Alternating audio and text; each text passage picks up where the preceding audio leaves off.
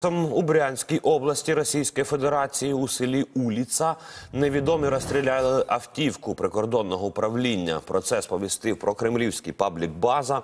Внаслідок інциденту загинув підполковник.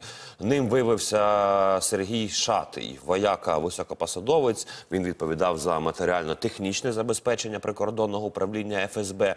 Е, чекісти почали пошуки стрільців. Вони, до речі, з місця події